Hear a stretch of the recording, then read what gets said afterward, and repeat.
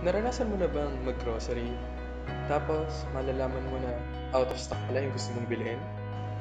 Naranasan mo na bang pumila ng pagkatagal-tagal sa fast food? Tapos, malalaman mo na ubus na yung gusto mong orderin?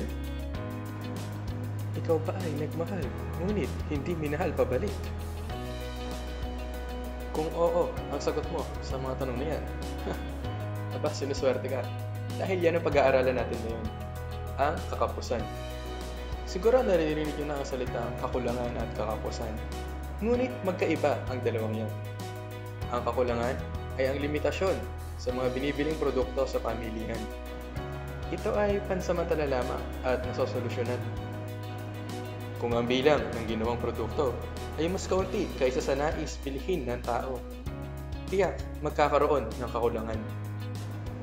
Ang kakapusan naman o scarcity ay ang limitasyon o hangganan na mayroon ang lahat ng pinagkukunang yaman.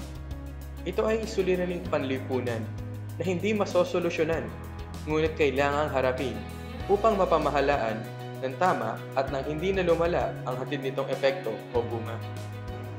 Mayroong dalawang uri ng kakapusan sa mga produkto o serbisyo.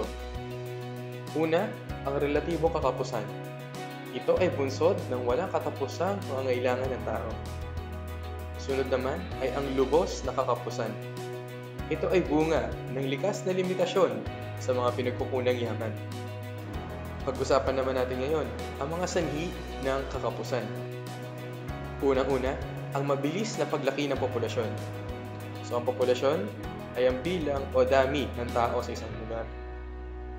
Kapag masyado ng marami ang tao sa isang lugar, mas marami ang pangangailangan na kailangan tustusan. Mas maraming tao ang mga kailangan bumili ng pagkain. Kaya kung masyadong malaki ang populasyon, tiyak magkakaroon ng kakapusan sa mga pinagkukunang yaman. Ang population growth rate ay ang bilis ng paglaki ng populasyon. So pwede natin ito i-compute. Nice, magkakompute na tayo. Ito na hinihintay natin, yung math. Sa pamamagitan ng formula na present population minus previous population over previous population times 100.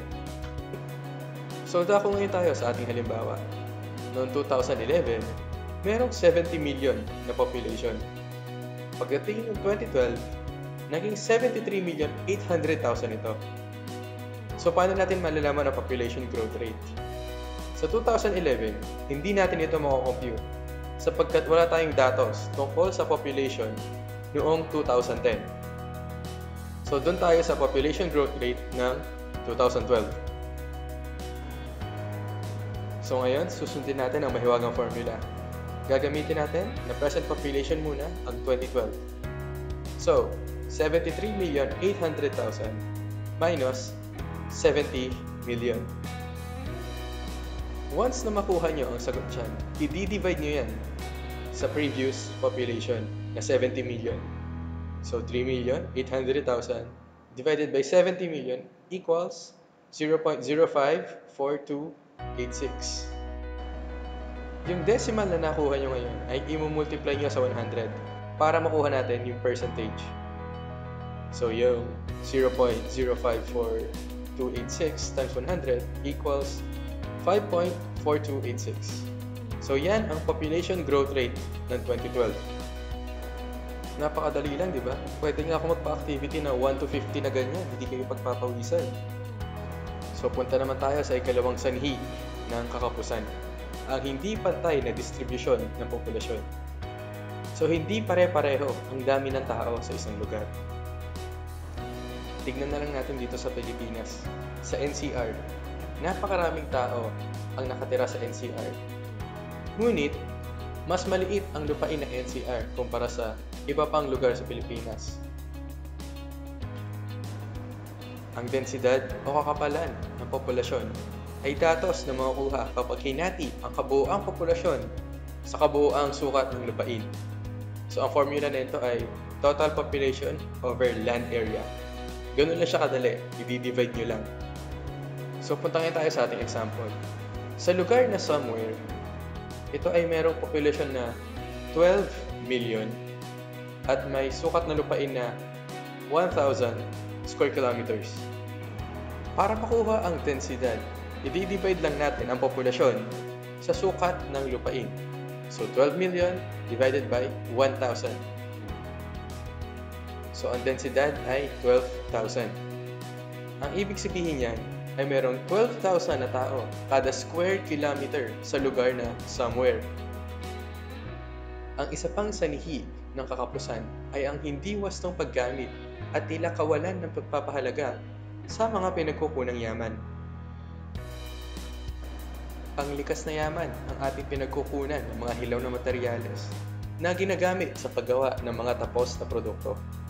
Kung hindi natin iingatan ang malikas na yaman, balang araw, mawawalan tayo ng pagkukunan ng mga materyales. Ngayon pa lamang, karamihan sa mga gubat sa Pilipinas ay nauubos na. At ang mga lupang sakahan ay nagiging subdivision. At ngayon, paano natin haharapin ang mga hamon na kakapusan? So, paano nga ba tayo makakatulong no, sa pagharap sa hamon na kakapusan? Kahit mga simpleng bagay ay malaki na ang tulong. So, isa sa pwede natin gawin ay matutong magtipid. Ikalawa, iwasang maging sanhi ng polusyon at paglobo ng populasyon. Ahem, uh, ahem. Iwasang maging sanhi ng paglobo ng populasyon. Ayan, inulit ko na ng mas mabagal. Sana wag niyong kalimutan. And that's it for this lesson.